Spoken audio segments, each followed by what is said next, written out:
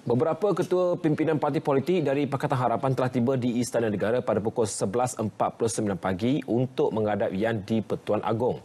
Antara yang sudah tiba ialah Setiausaha Agong DAP Ling Guang Eng dan Presiden Amanah Muhammad Sabo.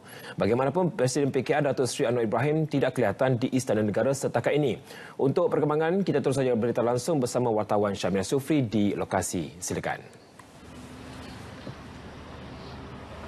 Baik, eh, terima kasih. Sehingga saat ini saya masih lagi setia menunggu di pintu masuk dua Pekarangan Istana Negara bagi melaporkan perkembangan terkini uh, mengenai pergerakan masuk, keluar masuk uh, ahli politik di Istana Negara untuk menghadap Yang di-Pertuan Agong pada hari ini.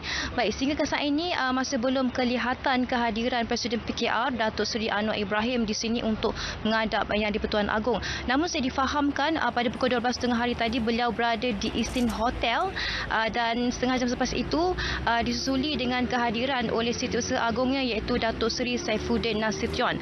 Baik, uh, ketua pimpinan parti Pakatan Harapan yang lain uh, seperti Lim Guan Eng, Muhammad Sabu dan juga uh, Datuk Seri Dr. Zulkifli Ahmad telah pun dilihat keluar melalui pintu yang sama di sini sekitar jam 12.01 minit tengah hari tadi selepas menghadap yang di Pertuan Agong. Baik, uh, sedikit maklumat yang dapat saya kongsikan daripada rakan tugas saya, wartawan Tun Julia yang berada di luar kediaman uh, peribadi Tun Dr. Mahathir Mohamad di Seri Kembangan Selangor. Beliau melaporkan bahawa Perdana Menteri Menteri Interim itu uh, sudah pun meninggalkan kediamannya sekitar jam 12.13 minit tengah hari tadi untuk menghadiri satu majlis tertutup di Ibu Negara dan beliau uh, dilaporkan selepas itu akan uh, tiba di Istana Negara.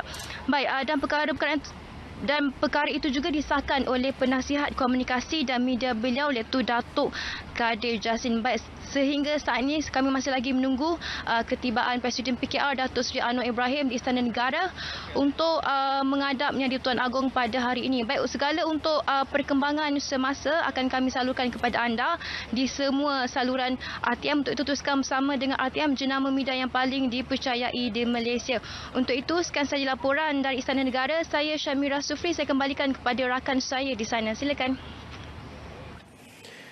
Baik, terima kasih Syamira.